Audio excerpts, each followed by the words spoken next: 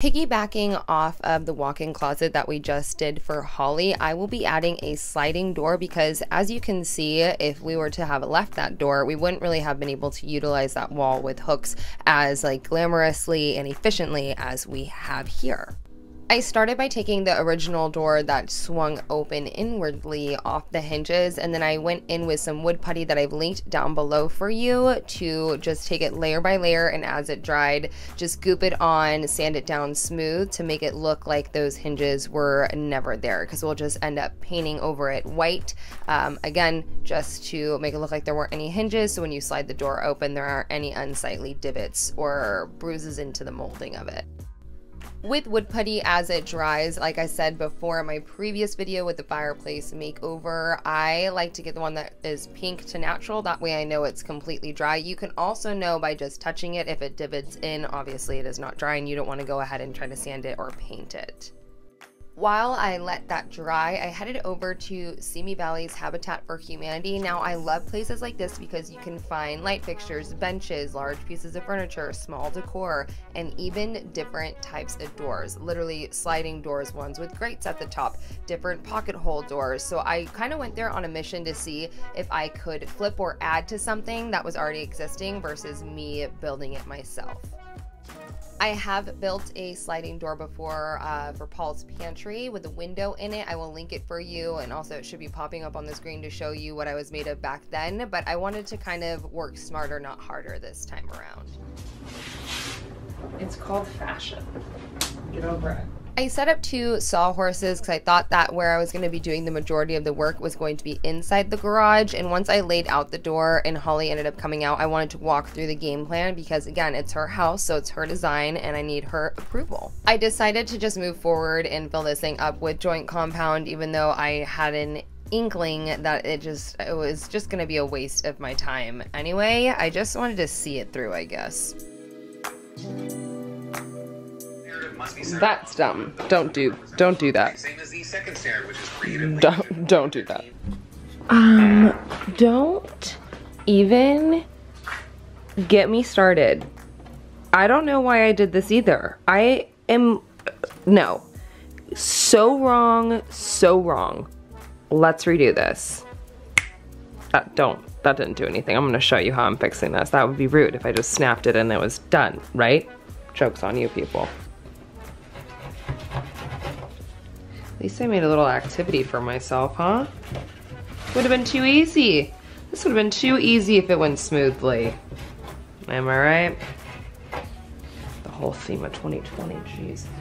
You can cut wood. Joint compound isn't for everything.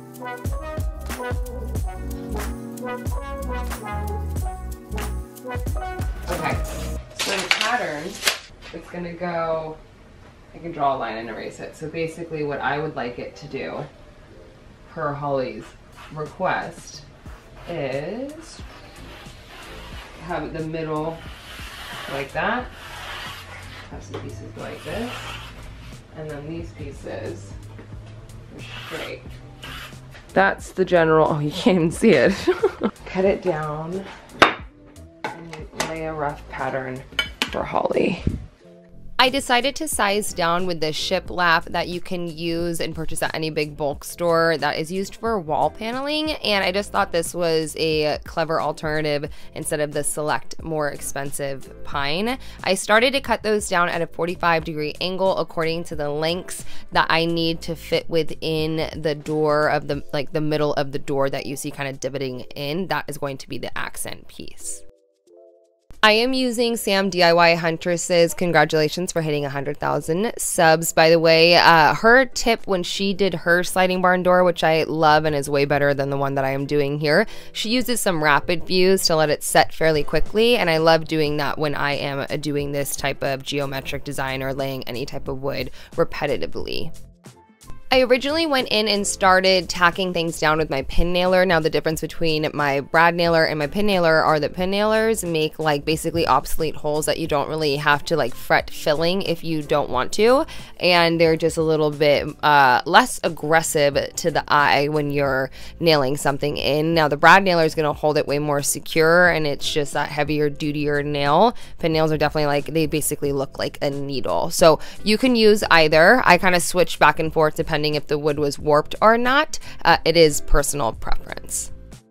Now, I think a lot of people will find this therapeutic and repetitive, but because I've done this a couple of times, doing something repetitively like this, my brain doesn't necessarily like. I love doing a variety of things, huge movements, huge builds, and kind of like as long as the project kind of places me all over the place, uh, I'm very happy. With this door, I'm not kidding, I spaced out in between projects because my brain just starts to shut down at a certain point and I will start to make careless mistakes because it's not something that's like very exciting to me. I had one side of the door finished and glued down. I literally just copy and pasted in real life by cutting down wood, making sure it lines up properly, and then pasting it and pin nailing it to the other side as well, with the design going the same direction if you were to like flip or stand on the opposite side of the door.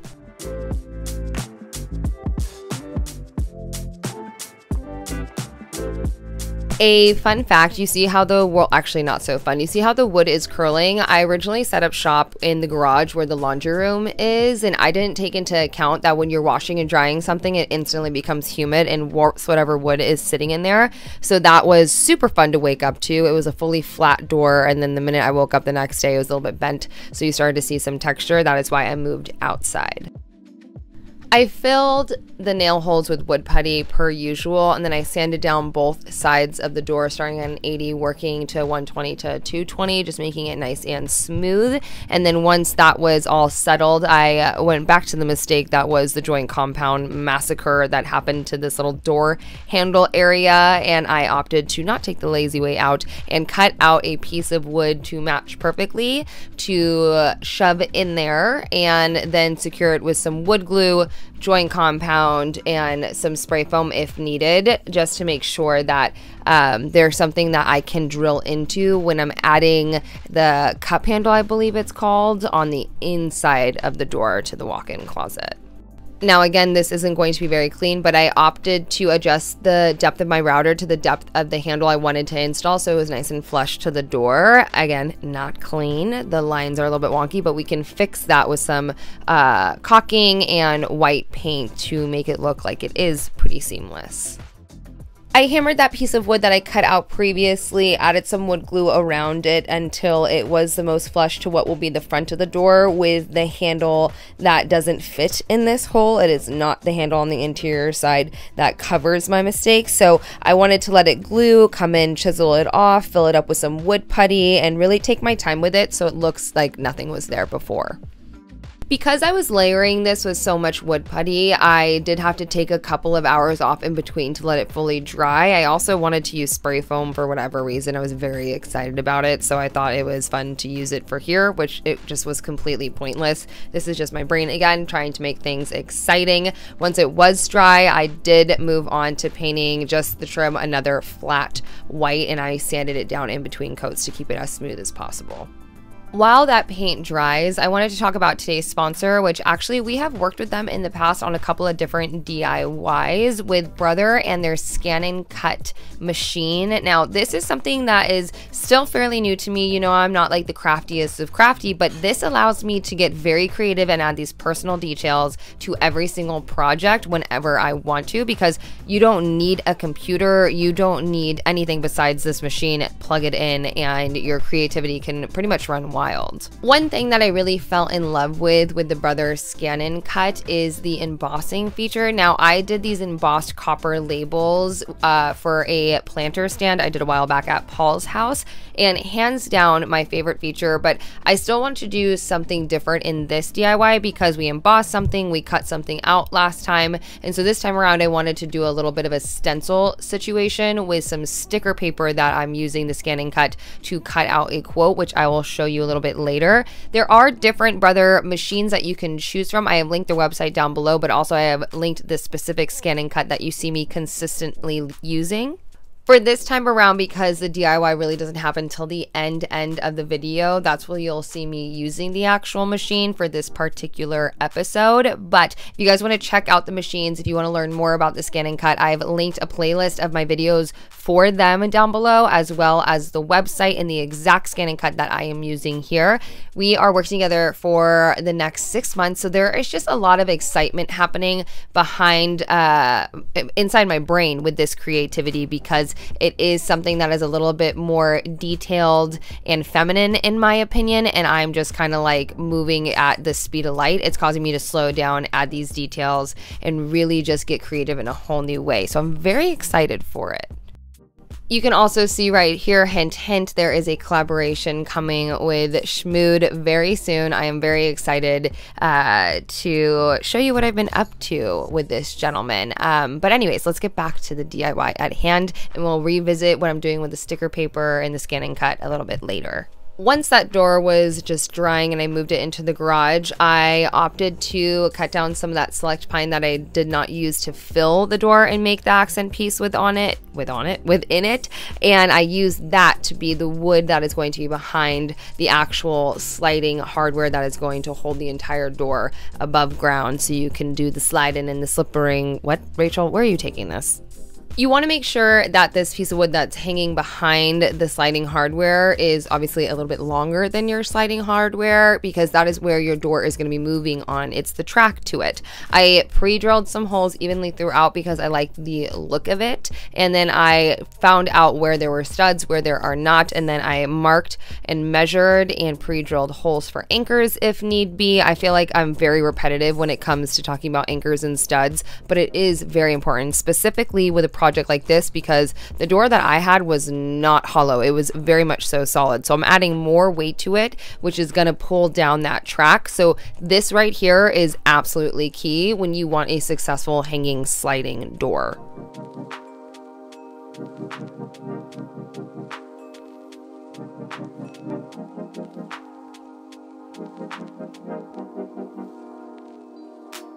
Holly loves the natural wood.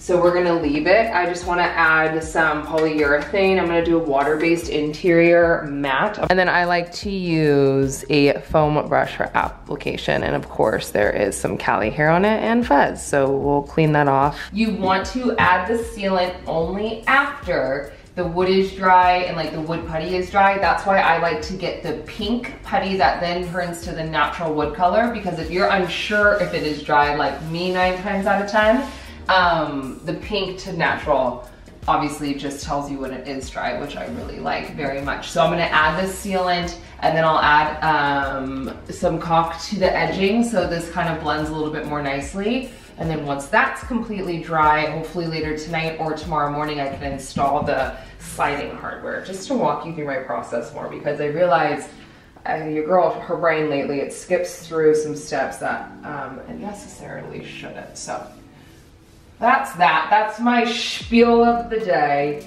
People. So I'll let this dry for a couple of hours and then I'll go back in and add a um, second coat. And I'm not too concerned with coating this a ton, a ton and absolutely pristinely because again, it's just like this sliding hardware. But you do want to protect your wood on all sides. If I'm going to be completely honest, this is where I got deflated with this project. I finished this piece of wood for the sliding hardware so beautifully. I went to install the track and it was so level. I was very, very proud of myself with how this process was going.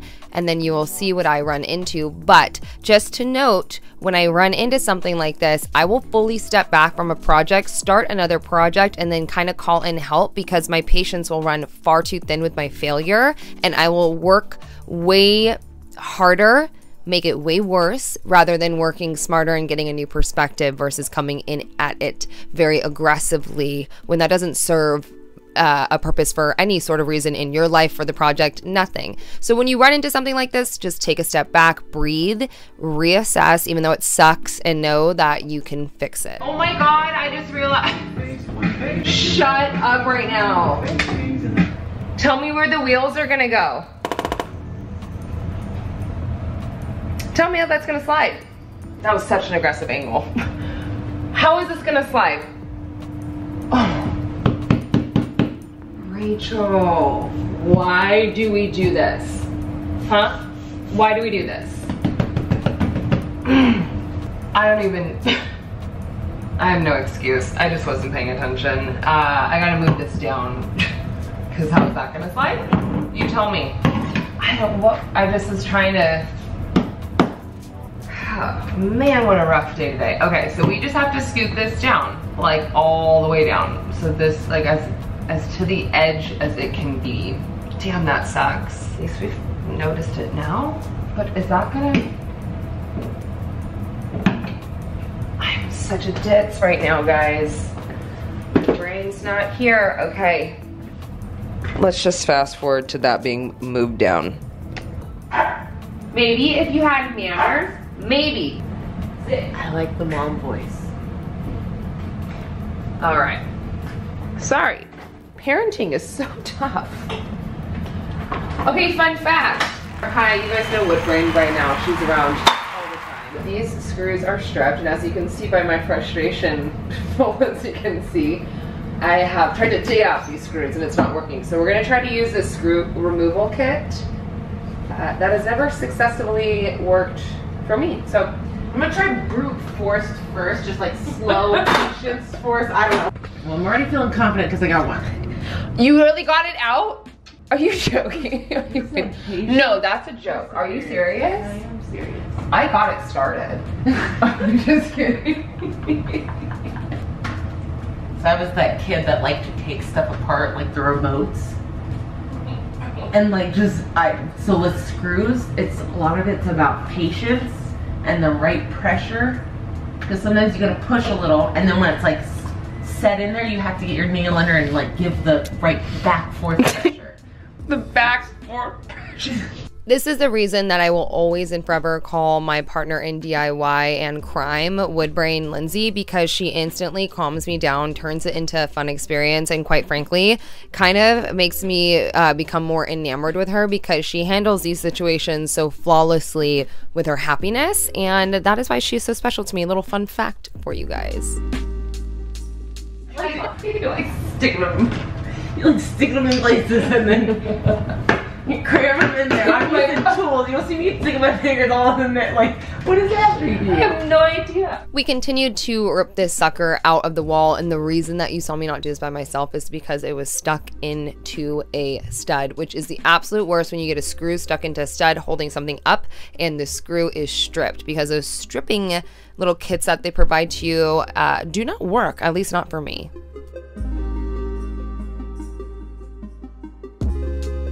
Finally, I just did what I told you not to do. Stick my fingers all up in there. Yeah, great. But it's gonna be loud. I'm just gonna let you know.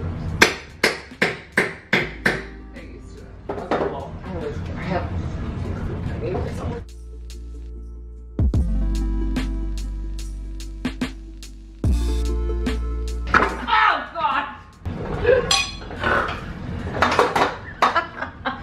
All right, so we got it. We finally got the wood up and then we finally got the track up, which means we could move on to adding the hardware to the door to ensure that this thing fits and that I don't have to cut it down any more than it already is because I really tried to get the measurements right on the head when I thrifted the door to avoid that completely.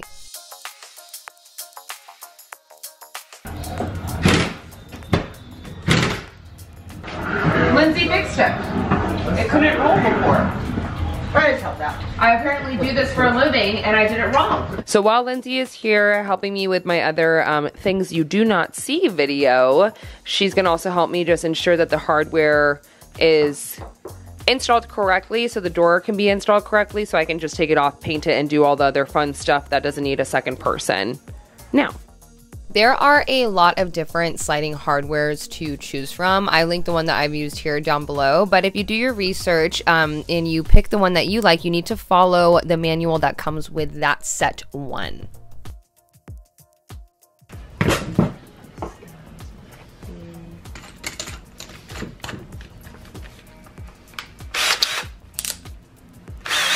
Really nice to have Lindsay around more and more because I was able to work on two other makeovers while she was doing this. Um, so when you see her take over, just keep in mind that she is now my extra set moving forward.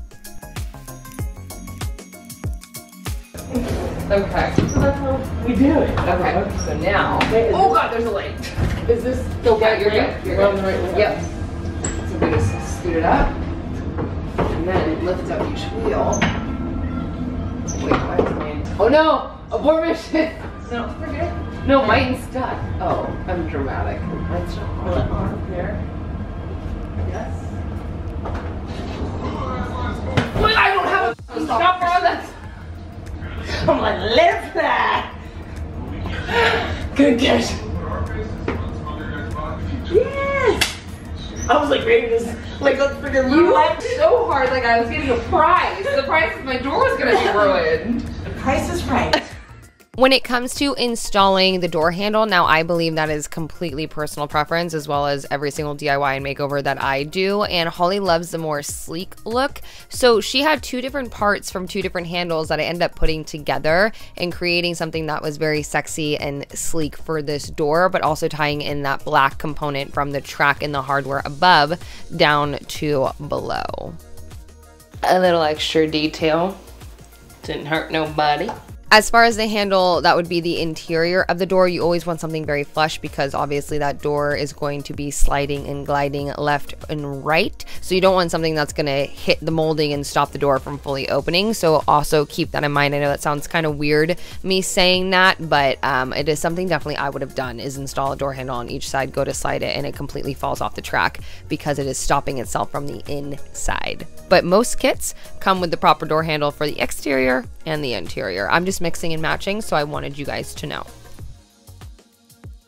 Added some joint compound and I also put some caulk on top of that and then I painted white where that wavy line of the router, my beginner rookie routing line was to make it look like it was perfect, but fun fact, it was not. I moved forward with using Brothers Scan and Cut this time way differently because I wanted to kind of do something different each time. I printed out a quote. I scanned something that said, You are what you attract. And I wanted to make this a little bit of a vision board moment for Holly. So when she's walking out of her closet every day, she's consistently reminded of what she is working towards because she like closes the door, gets ready, does her makeup, and has her moment. So I printed out the quote that I designed on Photoshop through my computer. I scanned that through the scan and cut. It recognizes what it sees on its mat. And then I put some sticker paper down and had it cut out in black and white. I moved forward with creating a DIY corkboard, which I have done for you on my channel before. I took some plywood, put some cardboard on top of that, let that dry in layers, and then I added corkboard on top of that because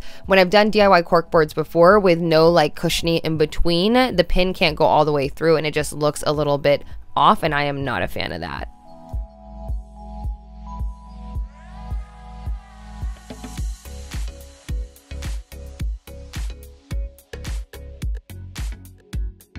On the corkboard, I wanted to do a quote in a new way, and I thought that if I laid the sticker down directly on top of the corkboard and then went ahead and spray painted it, that the stencil would bring some sort of texture into the room.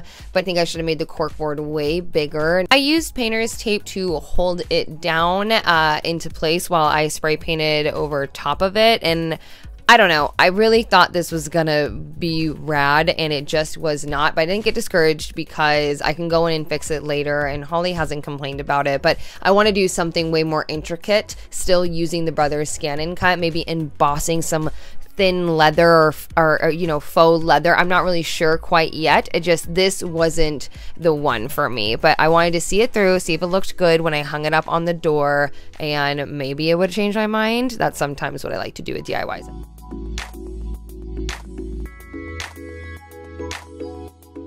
I hung this up at eye level and level in the center as well, just to see if I liked where it lived. I do like the idea of having a cork board right here. I didn't want to make it too thick so it stopped the door when sliding. I really do apologize for the lighting right here, but this hallway is a little bit unique to film and the shadows are a tad bit aggressive uh, 24 7. So I'm really excited with how this came out. I do think it is the perfect addition to this hallway makeover that we've done before. And if you guys want to see the full details, detailed shot. If you guys want to stare and swipe and like it, I have put it over on my Instagram. So be sure to go show it some love over there. Also, ask any questions in my DMs in the comments down below. But thank you, brother, for sponsoring this episode. And thank you so much to you guys for consistently just being there for me every single DIY tutorial video that I put out for you all. I really appreciate it.